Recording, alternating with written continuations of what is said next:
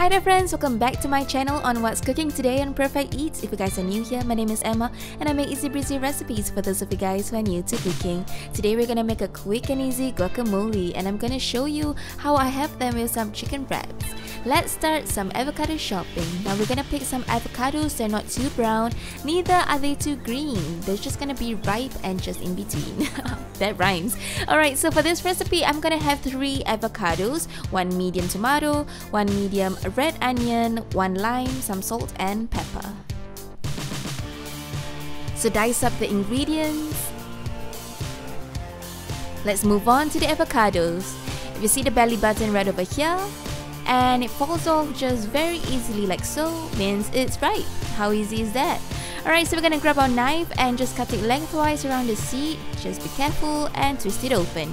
And just plant our blade through the seed and twist it and it just falls off. So we're just gonna scoop the rest and into the bowl.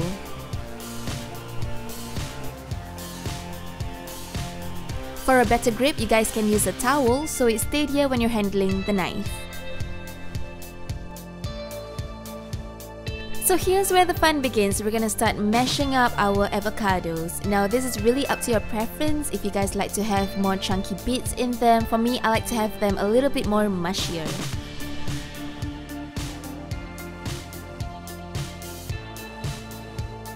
We're gonna start adding in our diced red onions into the bowl and just gently fold them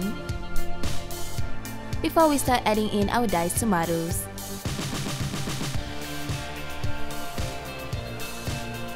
Right here, I'm just gonna start adding in just half a lime into the bowl. Now you guys, you do you. If you guys wanna add in a full lime, go ahead.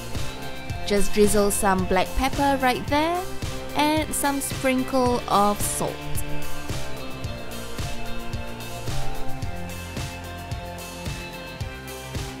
If you guys manage to get some cilantro from the supermarket, that's great. Just gonna add in into the mixture. If you have any cayenne pepper, go ahead. And right here, I've added a sprinkle of garlic powder. A couple more folds and we are done with the guacamole. You guys can use it as a dip or eat it with some chips. But for me, I'm gonna move on and have some wraps with them. Just gonna cut up some crispy chicken right there. And here's my favorite wraps. You guys seen this before, so I'm just gonna use these three ingredients. Just very simply heat up the wraps 40 seconds or so on each side. Just flip them over. So here's how we're going to do it. I'm going to spread the guacamole just evenly throughout the wrap and I'm going to use some butterhead salad just for extra crunch, couple of crispy chicken and just wrap them over and secure it with aluminum wrap just so that it holds it in place. And that's it you guys, how easy is that?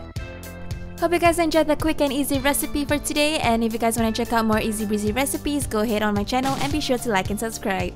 Thanks for watching to the end of the video, bye you guys!